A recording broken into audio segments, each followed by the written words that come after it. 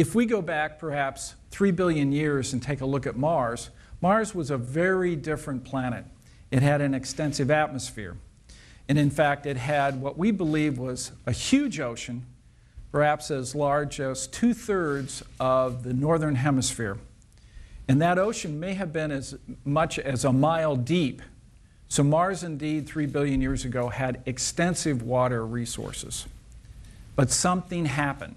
Mars suffered a major climate change and lost its surface water.